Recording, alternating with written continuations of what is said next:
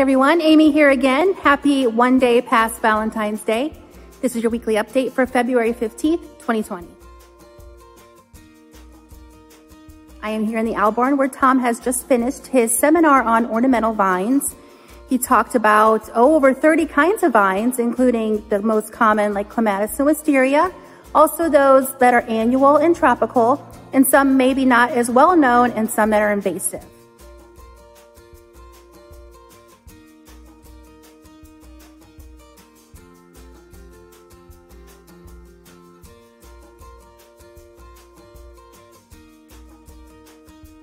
I appreciate everyone that attended and that um, enjoyed our snacks and hot coffee.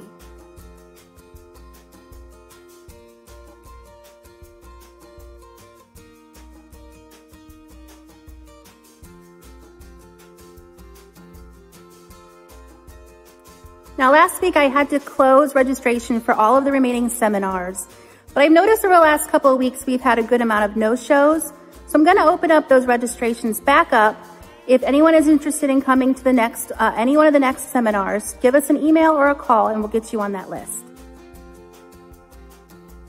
And again, speaking of seminars, we are having Jason Veil back from the Secrest Arboretum.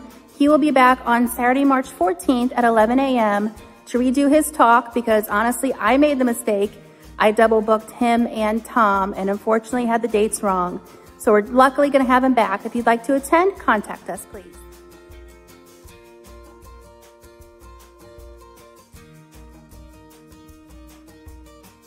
So as I've done the past couple weeks, I'm gonna head back to the greenhouse, show you what's going on in there.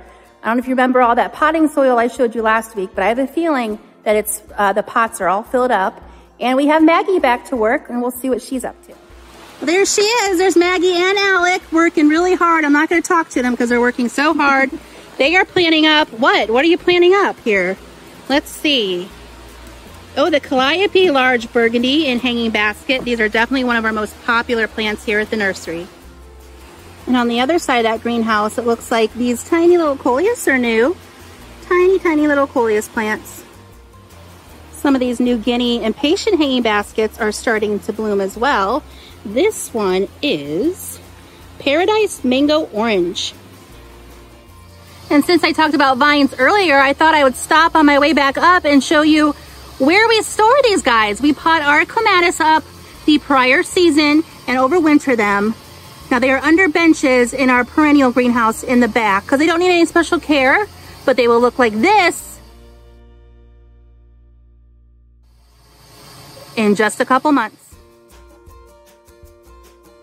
Just want to thank you for watching again. We'll see you next week and we will start the countdown of when our store opens probably around March 1st. Okay, bye.